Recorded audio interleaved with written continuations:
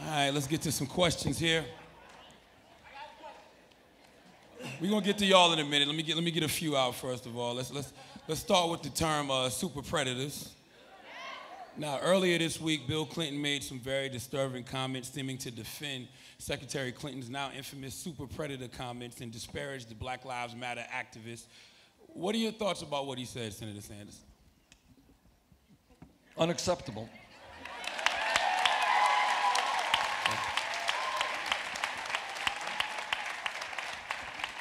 I think we all know what that term meant when the, in the context that it was said years ago. We know who they were talking about. That's exactly right. That's who it was. and I think that the president owes the American people an apology for trying to defend what is indefensible. But let me, if I may, say it was not just that. During that period, a piece of legislation called the so called Welfare Reform Act was passed. You all remember that? And the premise, which was a right wing Republican premise, was that the problem was that all of these poor people were really living high off the hog. They were all the quote unquote welfare queens. Remember that?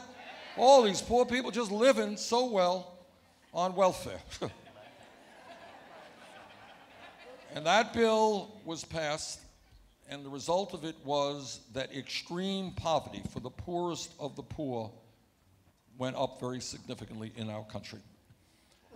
And what that politics is about, what that psychology is about, is to adopt the Republican belief that the way you get votes is beating up on the poorest and most vulnerable people in this country.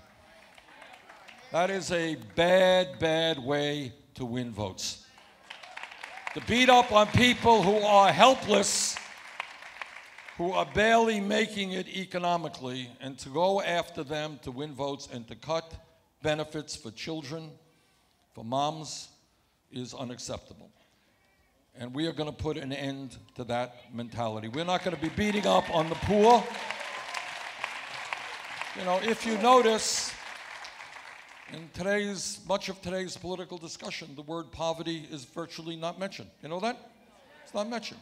We got 47 million people living in poverty.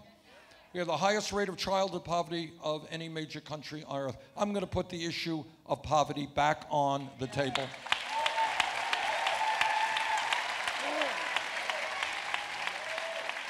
And we'll continue to talk about it. But first point is I think President Clinton owes the American people an apology for defending the indefensible.